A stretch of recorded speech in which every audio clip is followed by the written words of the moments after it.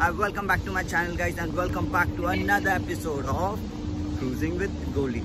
So guys, today I am out. Now this is the officially first time I'm going out of the ship but I want to show you something. Now I am working for Odyssey of the Sea, you all know that. But just beside me, this is this is Odyssey of the Sea.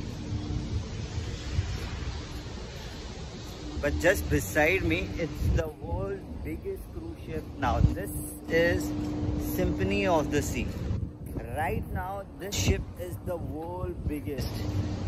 Let me pan my camera and show it to you. All right you can see the world biggest cruise ship symphony of the sea. Oh lord. Can you imagine the size of this ship? I should take a picture and this is the Odyssey of the Sea, Symphony of the Sea. And this is a very private island. The place where I am going you can see this.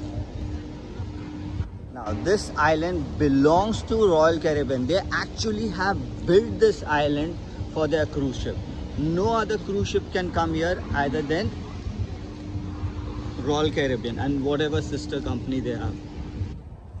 So but who cares? We are more interested in cruise ship. Okay this is mine odyssey of the sea. And i'll just pan the camera. And this is symphony of the sea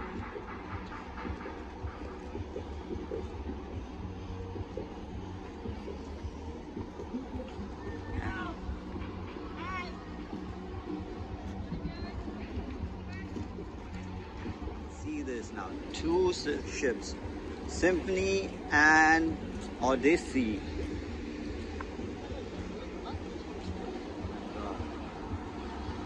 They have roller coasters and all. Odyssey